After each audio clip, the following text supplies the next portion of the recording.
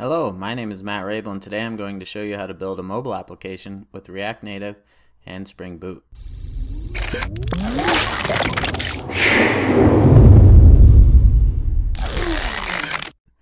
This screencast is based off a tutorial that I wrote and published back in October of 2018, but I've also kept it up to date, so it's using the latest and greatest version of React Native and JHipster. The source code for this project is available on GitHub, and in this project you'll see there's a demo.adoc. This file, you'll see right here, is a script that basically shows how to create this tutorial with the minimal steps needed. The project that I'm going to create is based on 21 Points. 21 Points Health is an app that I wrote as part of the JHipster book 5.0 that allows you to basically track your health. And so it has a user, has points, weight, and blood pressure. And how it works is you'll basically enter in points for each day. You get a point if you exercise, you get a point if you eat well, you get a point if you didn't drink any alcohol or maybe you just had one glass of wine. And then you can also add your weight or your blood pressure. So this is an app that I use and you can see here at 21points.com where I can add in points for a specific day or I could add in my blood pressure or I could add in my weight. And so that's how the whole thing works. So what I've done is I've exported the JDL for this into the sample JDL project, JDL samples. And so JDL is JHipster domain language.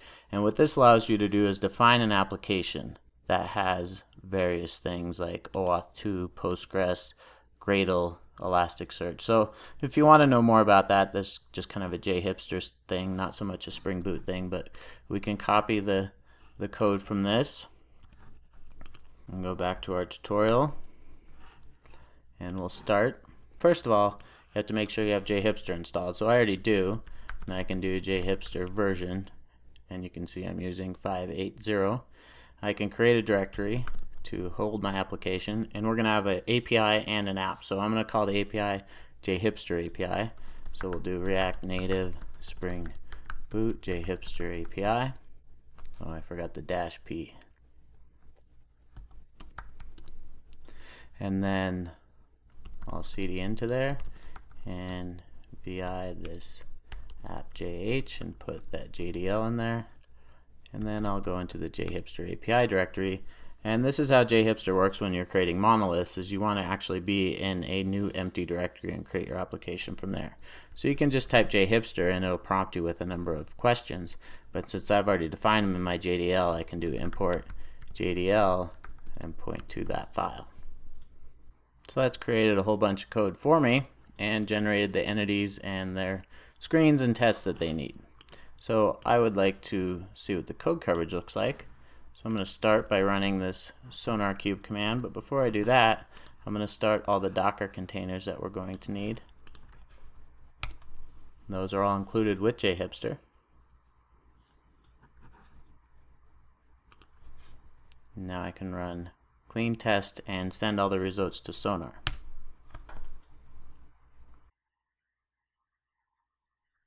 Then we can open that up at localhost 9001.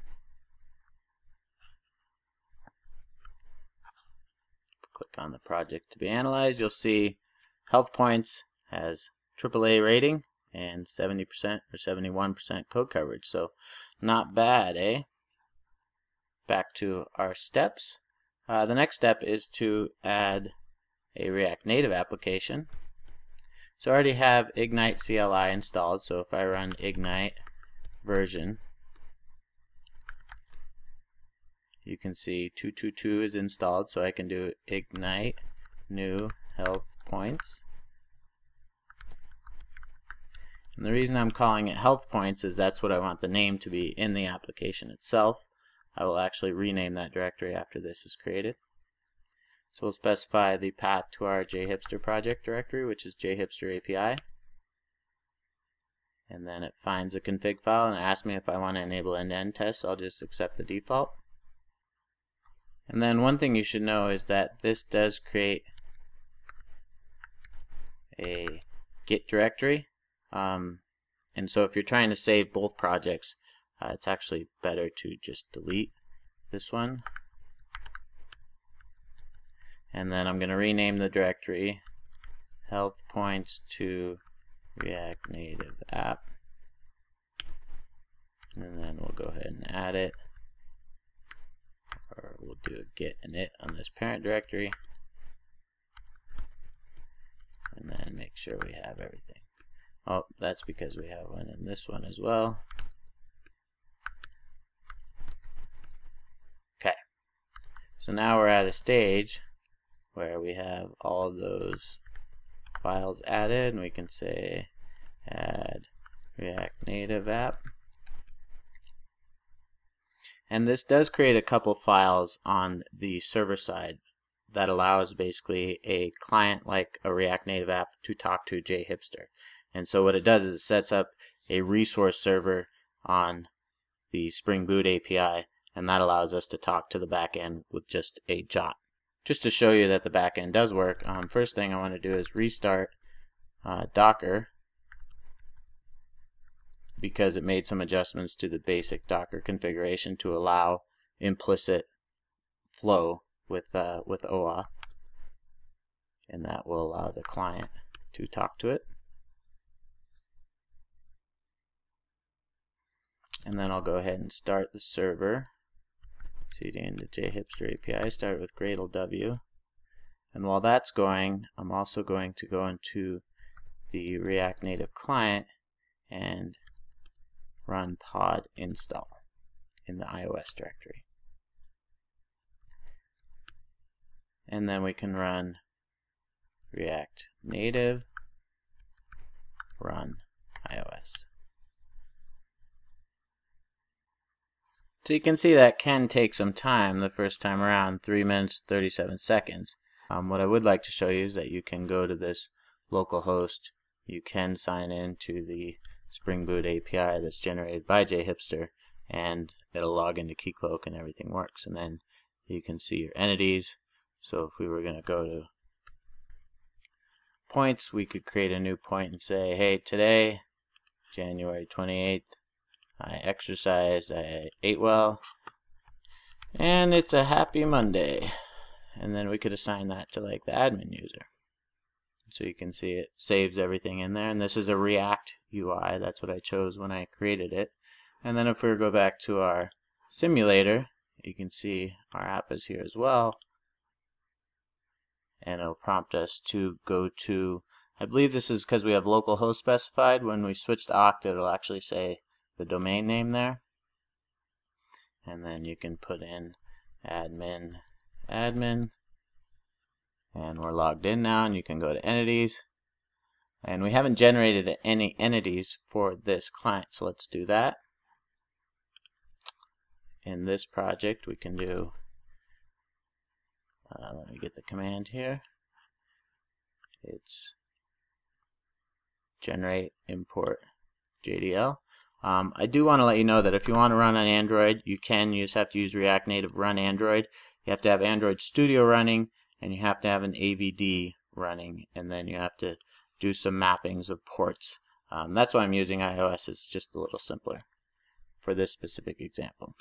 So I'm going to import those same entities and you'll notice it actually generated not only the entities themselves but also tests. So that's pretty slick and I can go back to my simulator and hit Command R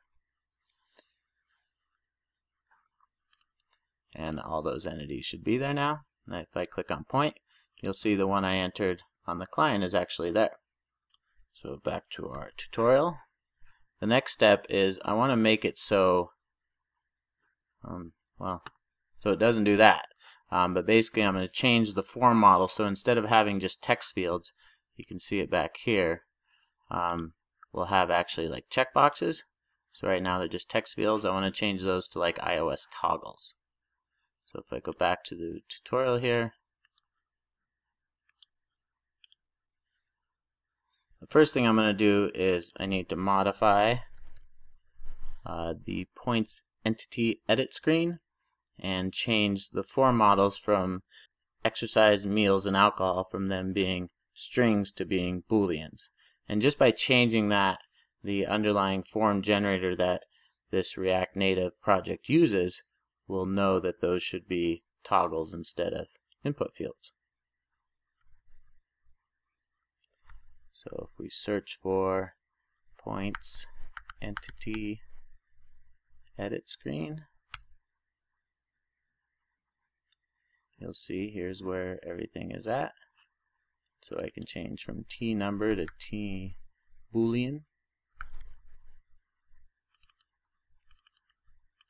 And then there's a few other changes you need to make in order to convert from a number basically to a boolean. So down in change entity to form value. So this is when it comes from the entity, when it comes from the API, and it's going to present it on the UI.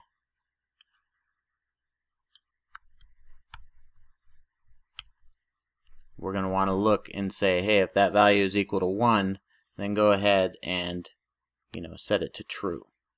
And then same thing when you're converting from the form back to the entity, do the same thing if it's uh, true or false, convert it to 1 or 0 just because that's what I want to store in the database because the 1s and the 0s allow me to add up how many points they got in a week rather than just going through true and false.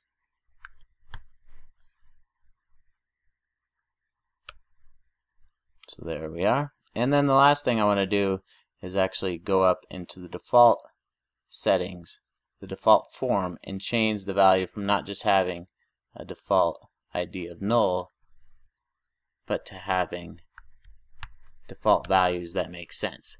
A null ID, the current date, true for exercise, meals, and alcohol, meaning that, hey, I expect you to have a good day by default, and only check the ones that, you know, you didn't succeed at. And now we should be able to refresh our app. We can go look at our entities. And if we edit it, you'll see that now they're toggled. So if we toggle this one and says, I didn't exercise today, saved it, and then went back to localhost 8080 and went to the points entity, you can see that it changed it. So it's changing it on both sides all that's working. Um, the only thing is this one's not quite the same, right? If we went and looked at this or we edited it, it's not quite the same. So let's let's make that similar as well. So first of all, I'm going to start yarn because that will allow me with JHipster to basically uh, just refresh the UI automatically without me having to go in and uh, and you know start and stop the server. And then I'm going to open up the project in IntelliJ. And then we'll find points update. And you'll see here's the HTML or the JSX or TSX for it. Um, so we have exercise label, we have points, meals, alcohol, so we can take all those and replace them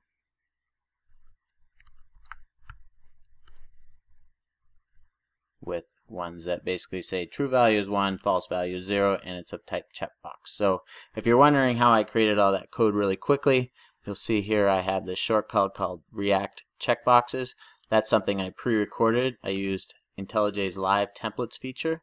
If you would like to use them, you can find all of my live templates at this URL, github.com slash mraible, idea live templates, and you can import them into your IntelliJ instance.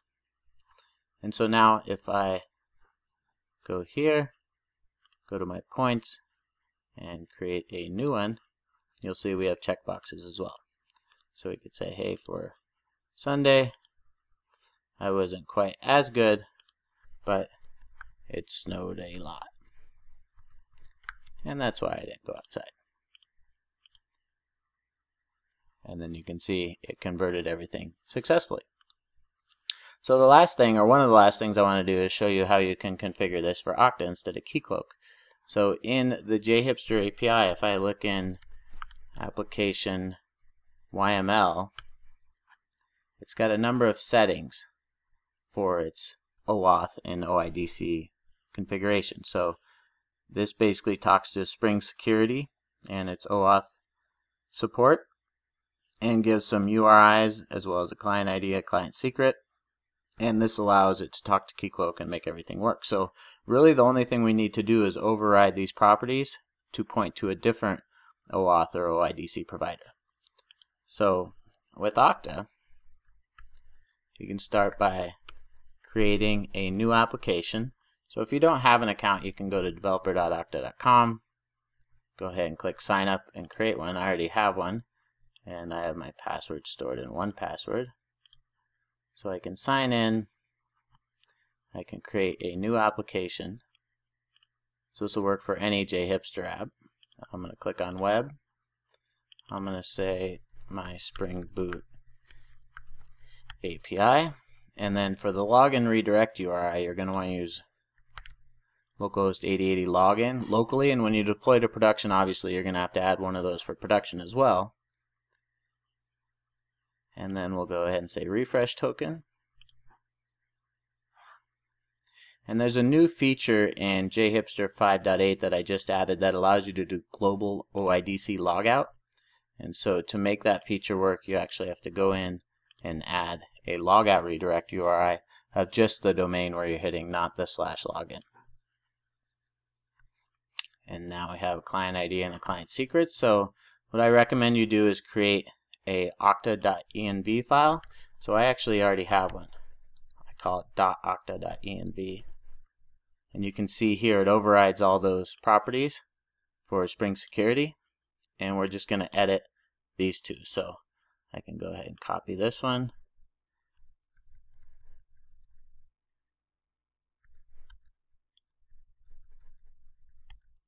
And edit that one. then client secret as well. And this is generally a good idea because you're not storing your client ID or your client secret in GitHub when you check your project in. You'll just have the regular Keycloak settings in there.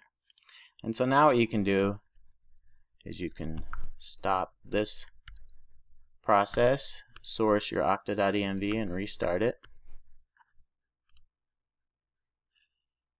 And now this JHipster app will be talking to Okta for authentication.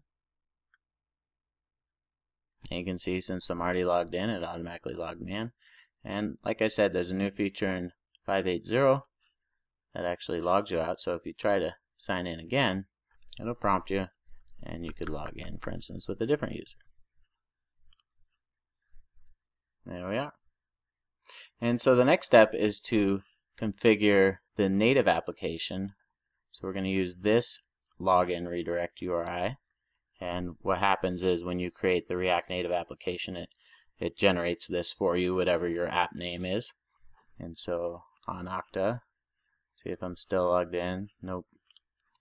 So I've got to log out because I'm logged in as that demo user. And then I'll log in with my admin account. And I can create a new native application. And we'll just say React Native. And login redirect URI is this. And we'll say refresh token as well. And so then it gets a client ID so you want to put that into I have the path name here. It's React Native app modules login login.sagas.js search for that. And it's right here, basically in the configuration. Put that in there. And you can remove this client ID that's no longer used. And this normally gets this information from the endpoint in the API. So if you look at API auth info, you can see it has the issuer in there and actually has a client ID. So um, but this is a client ID for the Spring Boot API, right? This is not for the native app, so that's why I overrode it. Okay, now we can restart, or we can log out of this one. So we'll go ahead and hit log out, and then refresh, and then log back in. Now you see it's going to Okta. We can go ahead and put our credentials in.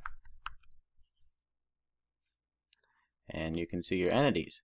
Now the reason you'll be able to see the points entities in this case is because we haven't done anything to filter on the admin person. So if you want to see how to do that, um, check out my 21 points application. It has many security features in there that prevent users from seeing each other's data as well as editing, editing each other's data.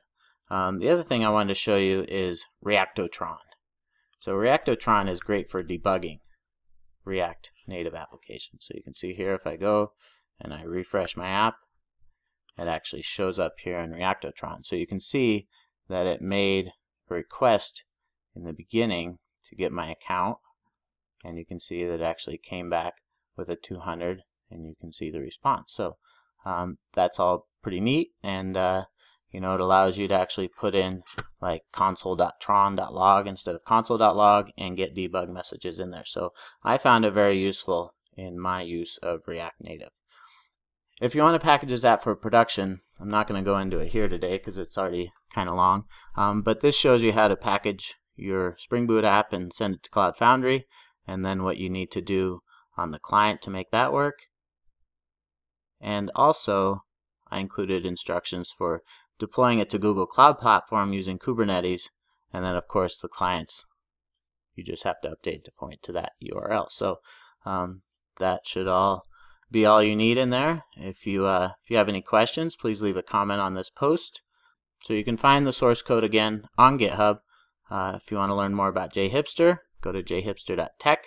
Um, the Ignite JHipster project, which I used to create this, is from Jon Ruddell. You can find it on GitHub as well. My name is Matt Raible. Follow me on Twitter at mraible. Follow my team at OktaDev if you like this screencast and want to see more when they're produced or when they're published. Friends don't let friends write authentication, so go to developer.okta.com and subscribe to our YouTube channel because we have lots of good stuff here in screencasts like this one.